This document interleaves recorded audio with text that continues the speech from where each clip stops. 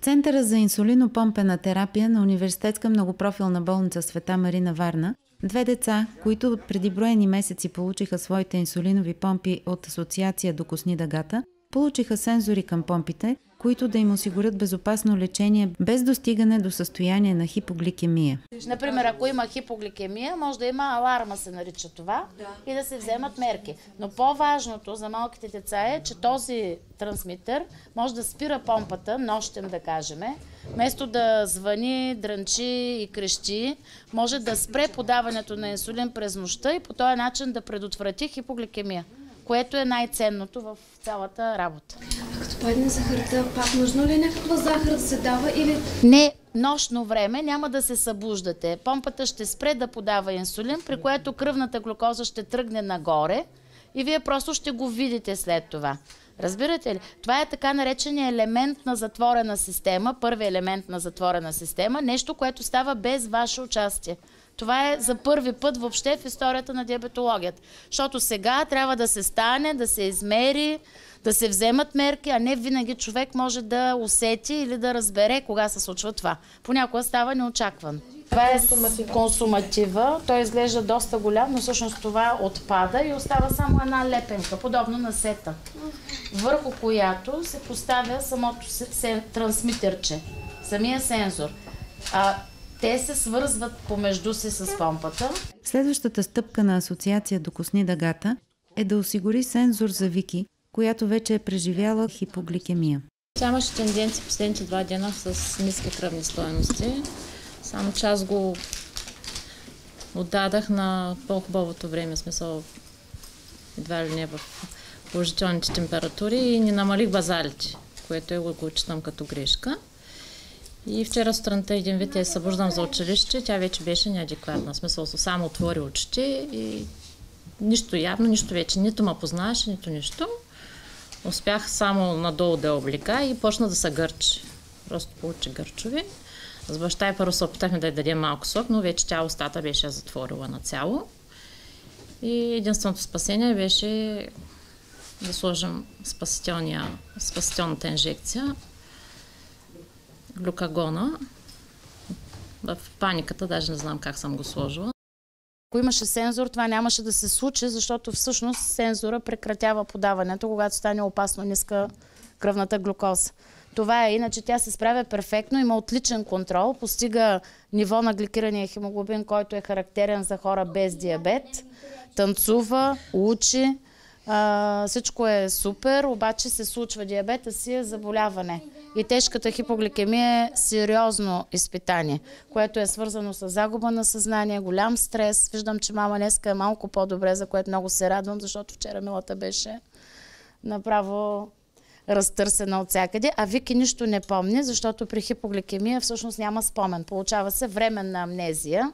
Много е важно и затова за малките в повечето европейски страни помпата вече върви и с сензор. А страни като Израел реимбурсират цялостната терапия с а, сензор през цялото време. За нас е важно дори понякога да може да се слага. Когато има трансмитерно устройство, може да кажем 4 пъти в годината, както ние сме поискали от нашата здравна здравноосигурителна каса, да има по един сензор, за да може да се наглася терапията и за да може в периоди на хипогликемии да има безопасно лечение на децата. Трябва всички медии да се обединят за тази кауза децата, диабетици в България да получат тези помпи, тези сензори, всички деца, така както е в нормалните европейски, големите европейски е, държави. Е, касата не бива да абдикира от е, разходите, които имат тези помпи и тези сензори и трябва да обединим усилията. Че справи, че е, баронеса Ангелова пое тази инициатива и е, Света Марина стана един от центровете, в които децата с диабет имат такива помпи. Не е само реимбурсация от здравна каса, може би здравното министерство трябва да се намеси, защото те имат фонд за лечение на деца. И ние много добре разбираме, че там постъпват за онколечение и за редки заболявания. Но аз искам вие да си представите, че това дете е на две годинки, когато му откриват диабет до 80 годишна възраст то ще бъде с диабет. А, вчера с професор Йотова говорихме какви са последствията от неправилното поддържане на един ден с диабет. Инсулиновата помпа и сензора е нещо, което дава нормален живот на детето, като бъде тинейджър на 30, на 40 и нормална бременност. Защото голяма част от бременните момичета и жени вече, които имат диабет, ако нямат инсулинови помпи и сензори, те имат постоянно разминаване на кръвната захар на нивата. А, децата се раждат с аномалии или абортират. Това е нещо, което ние искаме наш, нашата държава да расте, но не си помагаме. Ние даваме пари за лекуване и за а, вече на, на травмите, които диабета е нанесъл. Нали, това е драмата в нашата държава. Ние се грижим така, че да дадем тон на, на здравната каса и на държавата, която да поеме ангажимент към а, тези деца. А, това е изключително сложен проблем в а, обществото ни, защото без тази помпа и без сензора те не могат да водят нормален живот. И тези 8 помпи, които сме успяли с а, госпожа Ангелова да закупим и тези 8 сензора, а, за съжаление са капка в морето, но това правим, за да покажем как трябва да бъде направено. И имахме големи надежди, че здравната каса ще поеме от тук нататък нещата, но както виждаме, в България нещата не се случват по правилния начин. Кой се ангажира? Кой се ангажира, да. Да, основно наши приятели, приятели на баронеса Ангелова, мои приятели. И От едно предаване, в което Петя участваше заедно с Мариана Попова. Един човек се обади и каза, не са могли да се свържат с нея, намериха мене и казаха, много ви моля, гледахме ваше предаване, ние искаме, имам рожден ден, имам годишна, става на 50 години, мисля, че човека, искаме да, вместо, вместо да ми подаряват подаръци, да ви купиме помпа.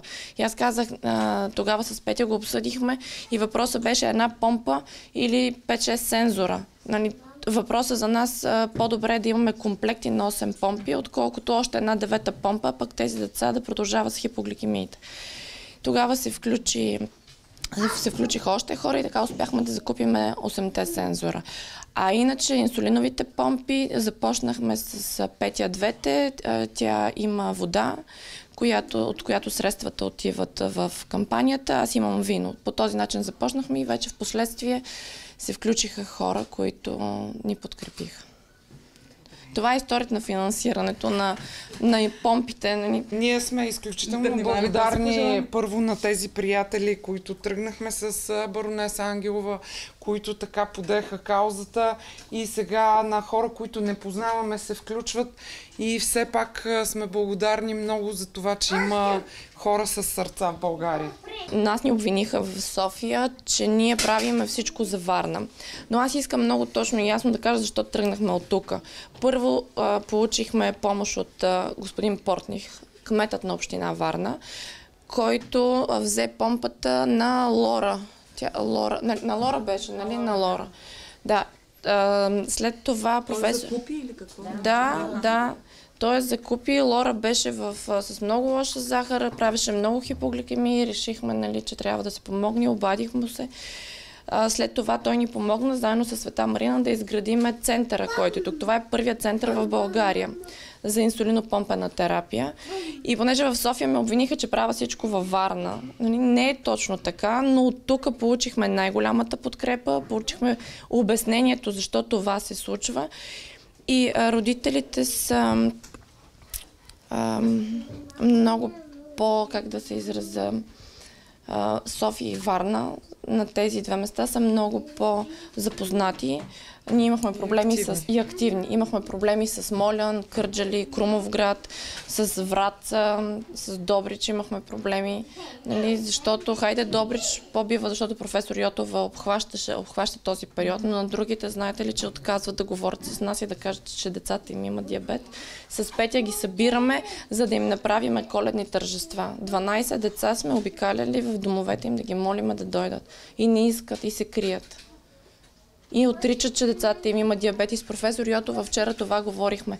Колкото повече се говори за диабета, колкото повече на хората ще им писне и ще почнат да споделят, че има такъв проблем. А в България са 460 хиляди регистрирани случаи с диабет. И възрастни деца. На възрастни и деца, разбира се. Това е буквално епидемия в днешно, в днешно време диабета.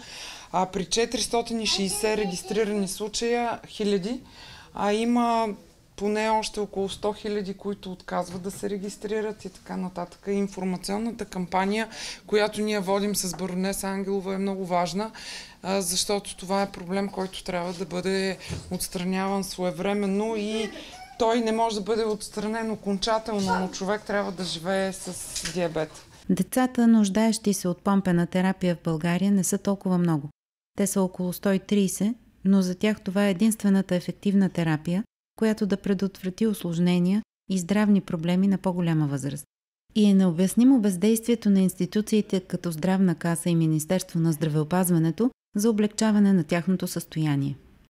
Сега в Центъра за инсулинопомпена терапия предстои обучение, което екипът на професор Йотова ще проведе с родителите за въвеждане на употребата на сензорите в ежедневието на техните деца. Асоциация Докосни дъгата продължава да се ангажира с информационната кампания, тъй като диабетът е хронично заболяване, което води до тежки увреждания, от което са засегнати повече от 460 000 души и техните семейства в България.